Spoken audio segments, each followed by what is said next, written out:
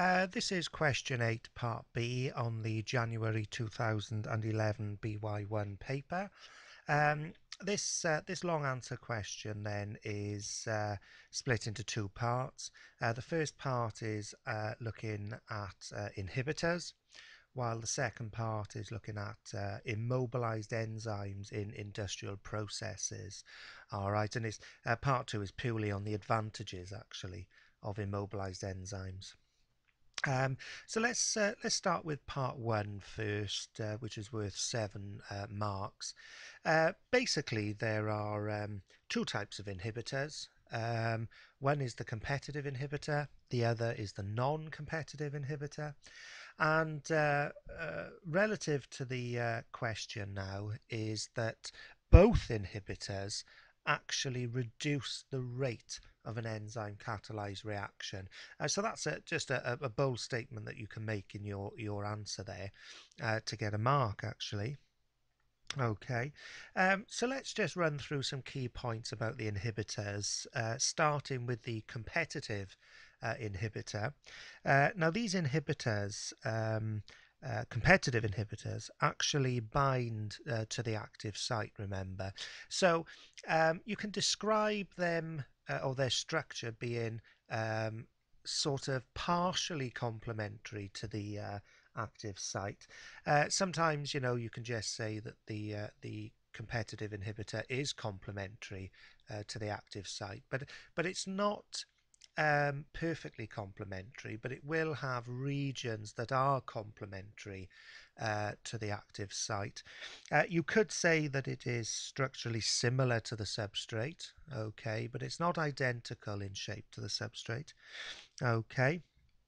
So the uh, competitive uh, inhibitor then competes uh, with the substrate for the active site of the enzyme. Now, if the inhibitor does bind to the active site. Uh, so if the inhibitor uh, does bind uh, to the active site uh, of an enzyme, it will actually block the active site and uh, it'll prevent then the, the normal substrate from binding. Um, so if the active site is blocked, um, you don't actually get the formation of enzyme substrate complexes. Um, you, you know, depending on the concentration of inhibitor and the concentration of substrate, you may get some enzyme substrate complex in, complexes being formed, but they're certainly fewer in number anyway. Okay, uh, so there's some key facts about the competitive inhibitor. Uh, one further fact, uh, this is something that I've brought up a couple of times in previous uh, videos on exam techniques, um, that a competitive inhibitor can have its effects reduced by adding more substrate. Okay, now I haven't gone into much detail about how that occurs in these uh, video tutorials on um, uh, answering exam questions, but I do have a video um, tutorial where I do explain that concept uh, further. All right. Um, so that's really the competitive inhibitor done with, really. Uh, the non-competitive uh, inhibitor then is uh, an inhibitor that is not in any way um, shaped similar or complementary to the active site uh, and it bears no resemblance to the structure or shape of the substrate either. Uh, so this inhibitor actually binds to the enzyme but it does not bind to the active site. It binds at a different uh, region. Okay. Now, once a non-competitive inhibitor binds to the enzyme, uh, the enzyme uh, will actually become denatured and the enzyme will no longer function. Okay, it's been completely uh, destroyed. The reason why it's been destroyed is the um, non-competitive inhibitor has completely altered the shape uh, of the enzyme and hence uh, the active site. So uh, the active site is no longer complementary uh, to the substrate. So you cannot get any enzyme substrate complexes being formed and, and that's how the rate uh, is dramatically reduced uh, with uh, these uh, non-competitive inhibitors. Okay, and uh, just for good measure, you know, you could then mention that a non-competitive inhibitor um, is not uh, or its effects then are not altered uh, by adding more substrate uh, molecules okay? And that's because the, the enzyme is completely denatured all right? So uh, there's some sort of background some key points uh, about enzyme uh, inhibitors that you should be bringing out in this essay okay? Now um, you may, if you want to, draw out some graphs to show the effects of competitive and non-competitive inhibitors. All right. Um, there's nothing in the mark scheme that specifically says there's marks um, for drawing these graphs. Okay, but it may be a good idea to put them in. Um, they are listed and drawn out in the notes uh, accompanying the app. Uh, make sure, if you do draw them, you label the axes correctly all right and uh, you draw the curves correctly as well um, the labeling of the axes then uh, along the y you would have uh, uh rate of reaction or uh, rate of enzyme activity something like that and along the uh, the x-axis you would actually have substrate concentration um, for these graphs where you're looking at the effect of inhibitors do not put uh, enzyme concentration along the X. That is wrong. It needs to be uh, substrate concentration. Um, okay, so like I say, you can put those graphs in if you if you like, but make sure they're right. Make sure you label the axes correctly. Um, let's go on to part two then about the advantages of using immobilized enzymes in industrial processes.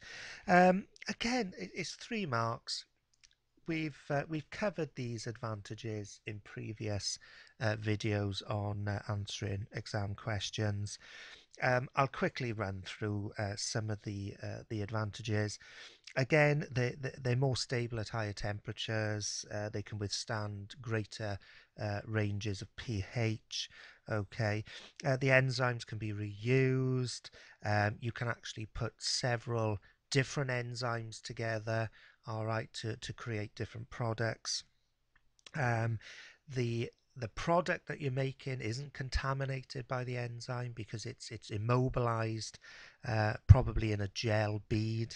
Okay, uh, so any of those advantages you can bring in there. There's quite there's a few more advantages, but uh, they're all listed uh, in the notes uh, in the app.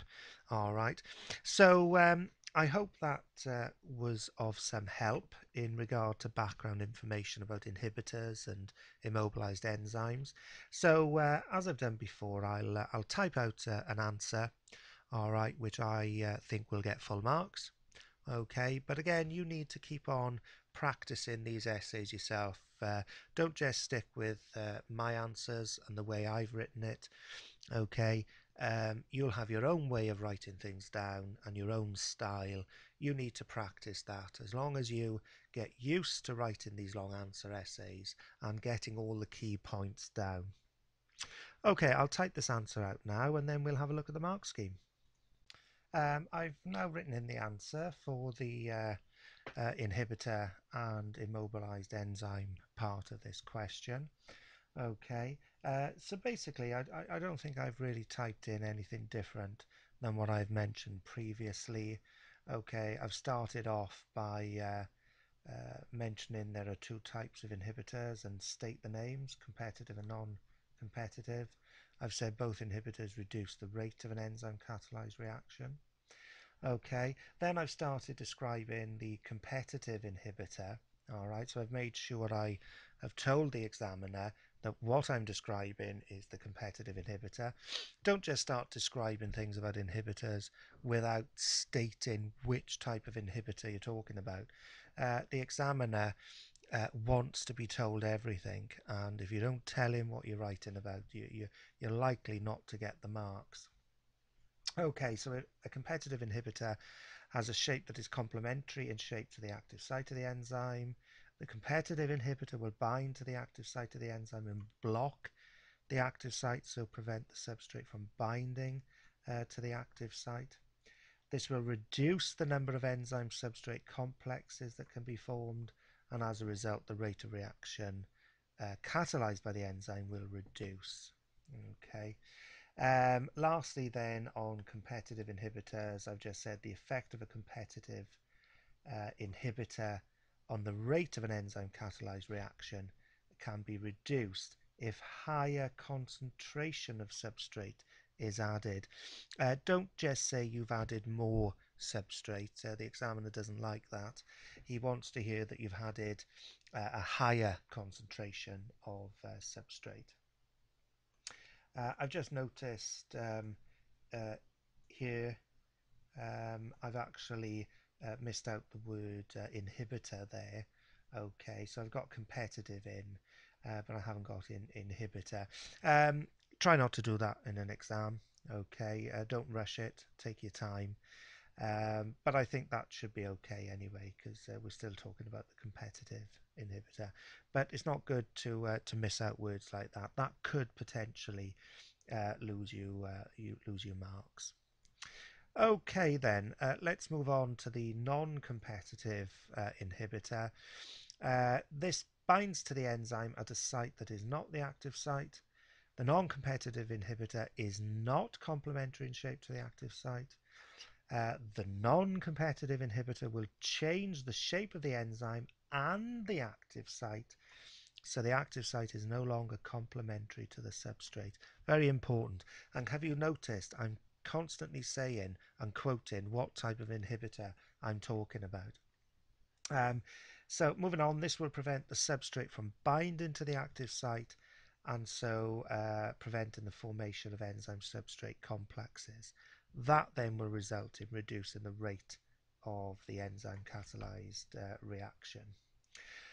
Uh, lastly, on uh, non-competitive inhibitors, I've just stated that increasing the concentration of substrate will not reduce the effect of the non-competitive inhibitor. Okay. Um, all right, lastly then, I've just stated three advantages of immobilized enzymes. Okay, um, I've said that the uh, product is not contaminated with the enzyme. The immobilized enzyme is more stable at higher temperatures and the immobilized enzymes can be reused.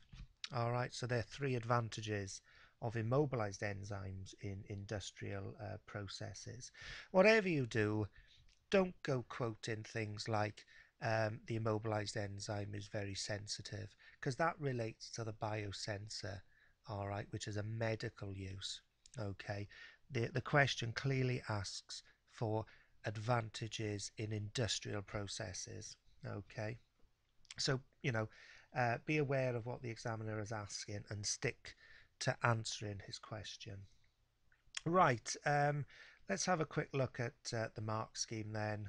Okay, uh, pretty straightforward, I think. All right, um, so I'll just uh, scroll down in a second to the immobilized enzyme uh, mark scheme, but these are all the marking points now in view uh, for the um, inhibitor section. Okay, so uh, the next one then are several uh, features of immobilized enzymes and their advantages. And um, that really is uh, uh the question uh, done.